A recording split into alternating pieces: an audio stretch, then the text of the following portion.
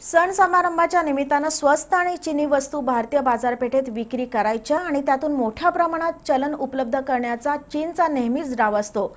मात्र सीमेवर भारतीय सैन्याची कुरापत काढल्यानंतर चीन विरुद्ध देशात बहिष्काराची मोहीम जोरात सुरू आहे.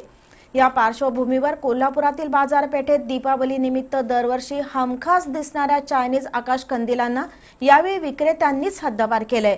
तर स्थानिक कारागिरींनी बनवलेल्या एक से एक बडकर आकाश कंदिलांना बाजारपेठेत मोठी मागणी मिळाली आहे.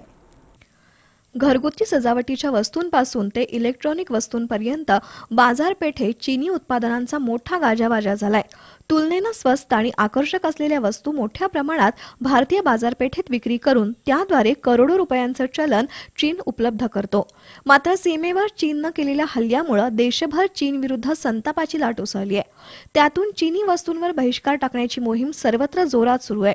दीपावली सणासाठी एरवी चायनीज आकाश कंदील पणत्या साहित्य मोठ्या प्रमाणात बाजारपेठेत उपलब्ध असतं.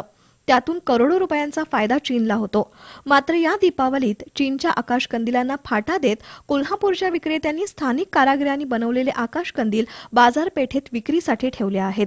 अगदी दीडशे रुपयांपासून ते चार हजार रुपये किमतीपर्यंतचे आकर्षक रंगेबिरंगी विविध आकाराचे कलात्मक आकाशकंदील बाजारपेठेत उपलब्ध असून ते ग्राहकांचं लक्ष वेधून घेत आहेत. वैशिष्ट्यपूर्ण रचना आणि कलात्मकता यामुळे स्थानिक आकाश कंदिलांना मोठी मागणी आहे. चायनीज मालाला हद्दपार करण्यासाठी या सणाला स्थानिक वस्तू उपलब्ध केल्याचं व्यापारी अबित तांबोळी यांनी सांगितलं.